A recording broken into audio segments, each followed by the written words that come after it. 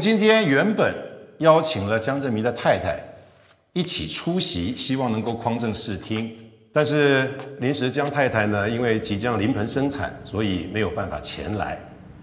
那我们希望今天的记者，我认识那个女生，因为我们住在同一个社区。之前记者问我认不认识她。我我说我不认识，是因为他他看到我搞外遇，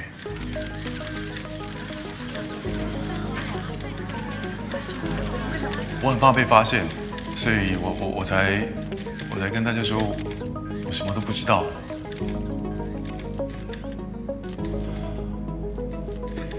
真的很对不起，这段时间。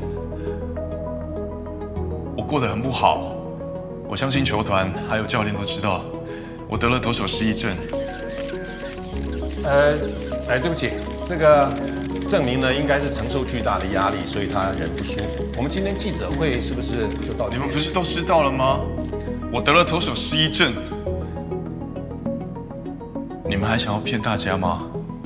对你们而言，要找一个要找一个投手很简单啊，花钱。就有了嘛？但我呢？我从小到大，我觉得最有自信、我最骄傲的事情，一瞬间全部都没有了。我怎么办？我什么都没有了。我我我过得很不好，我不知道该怎么面对。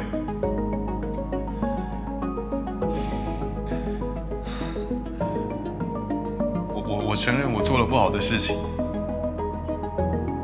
我对不起我的老婆。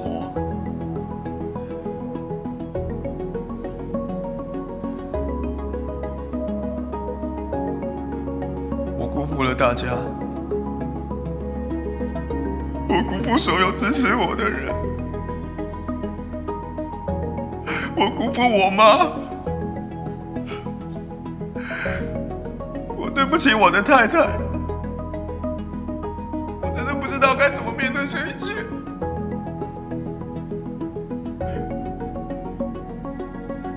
但是，我想说，我真的不是坏人，我也没有强奸那个女孩。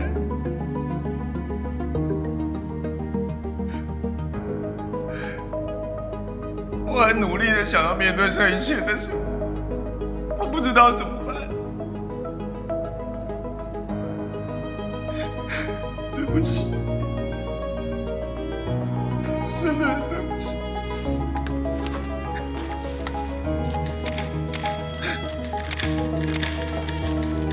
你知不知道你在做什么？我不知道，但是我不想要再说谎。